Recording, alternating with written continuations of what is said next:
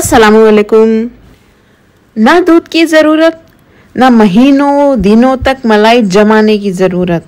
कोई झंझट नहीं। सिर्फ़ 10 से 15 मिनट में बहुत ही खुशबूदार और मज़ेदार घी आप घर पर आसानी से बना सकते हैं। ये सीक्रेट तरीका अगर आपको जानना है तो वीडियो आखिर तक देखिए। मिस ना करें कुक विथ फैम को सब्सक्राइब भी कर लें। इस तरह से कोई भी ब्रांड का अनसॉल्टेड बटर ले लें। ये 500 ग्राम है। इसे कट कर लें।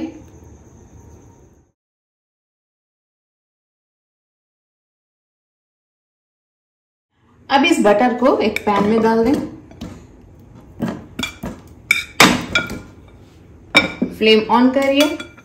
बटर पिघलने तक फ्लेम को लो पे रखिए। देखिए, बटर अच्छे से मेल्ट हो रहा है। ऐसे ही मेल्ट होने दें इसे।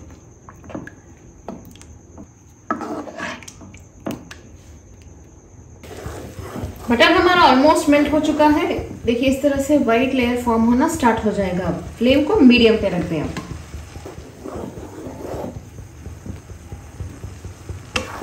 हल्का सा इस तरह से मिक्स करते जाइए, ताकि ये नीचे से ना पकड़े। ख्याल रखिए, इसे जलना नहीं है। अगर नीचे से जल जाएगा तो घी की जो खुशबू होती है, वो बदल जाएगी।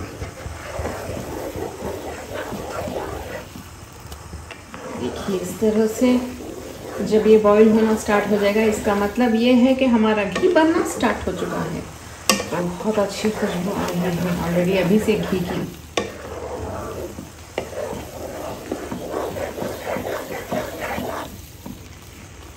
जो भी मिल्क सॉलिड्स होते हैं, वो नीचे की तरफ़ चल जाएँगे। अब जब उनका कलर गोल्डन हो जाएगा, इसका मतलब ये है कि घी हमारा रेडी है। लेकिन तब तक आपको इस तरह से मिक्स करते रहना है। झटपट रेसिपी है। आराम से घर बैठे आप मज़ेदार घी बना सकते हैं। जो भी बटर आप लें वो अनसॉल्टेड बटर होना चाहिए। बटर विथ सॉल्ट भी आप यूज़ कर सकते हैं, लेकिन उससे जो घी बनेगा, वो स्वीट्स में आप नहीं डाल सकते, यानी डेजर्ट्स में स्वीट रेसिपीज़ में आप नहीं यूज़ कर सकते हैं। जब आप अनसॉल्टेड बटर यूज़ करेंगे तो जो घी इससे बनेगा, सभी रेसिपीज़ में आप इसे यूज़ कर सकते हैं। आप लोग सोच रहे होंगे, जो रेडीमेड घी अवेलेबल होता है मार्केट में, वही ला सकते हैं ना? लेकिन याद रखिए, इस तरह से बटर मेल्ट करने से जो घी बनता है, बहुत लाजवाब होता है। घर पर मलाई जमा के जो आप घी बनाते हैं, बिल्कुल उसी तरह खुशबू आती है इसमें। आप लोग एक बार ट्राई करके तो देखिए बेस्ट घी होता है ये। मैं इसे बहुत बार यूज़ कर चुकी हूँ। देखिए, जो मिल्क सॉलिड्स है, ये अभी वाइट कलर में है। इसका मतलब घी अभी रेडी नहीं है। जब इनका कलर चेंज हो जाएगा, जब घी भी हमारा रेडी हो जाएगा, यानी बन जाएगा। परफेक्ट कलर और खुशबू के साथ। फ्लेम को मीडियम टू लो पे ही रखिए। चेक करते रहिए आप इसका कलर देखिए, इसका कलर चेंज हो रहा है।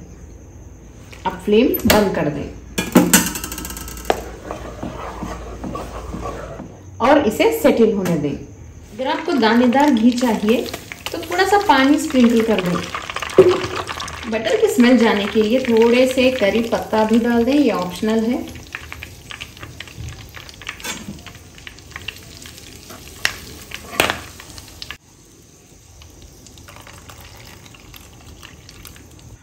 बहुत अच्छी खुशबू आ रही है। काश आप भी इसे सूंघ पाते। धीरे धीरे से अब ये जो व्हाइट कलर है, ये भी ख़त्म हो जाएगा। अब हम ये करी पत्ता निकाल देते हैं।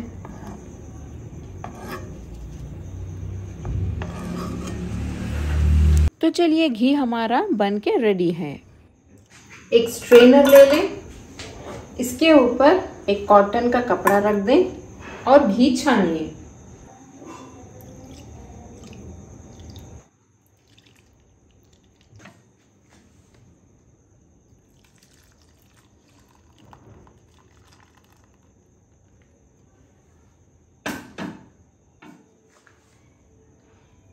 इस तरह कपड़ा रख के छानने से ये जो मिल्क सॉलिड्स हैं, ये घी में नहीं आएँगे।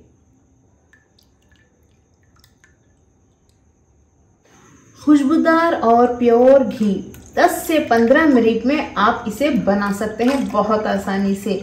अब मलाई जमाना, रखना, इसकी कोई झंझट नहीं। देखिए, बहुत बहुत अच्छी खुशबू है। कमेंट में ज़रूर बताएँ। ये इंस्टेंट घी की रेसिपी आपको कैसी लगी? टिप्स जो मैंने आपको बताए हैं, सभी फॉलो करिए, तभी परफेक्ट घी बनेगा। लाइक करें वीडियो पसंद आए तो और इस वीडियो के लिंक को शेयर करें फैमिली और फ्रेंड्स के साथ। और देखते रहिए चैनल कुक विद फेम क्योंकि और भी बहुत सारे मज़ेदार रेसिपीज़ यहाँ पर अपलोड होते रहते हैं।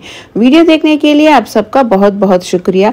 जाते जाते channel Cook with Fame subscribe कर लें अगर आपने नहीं किया है तो। असलकुम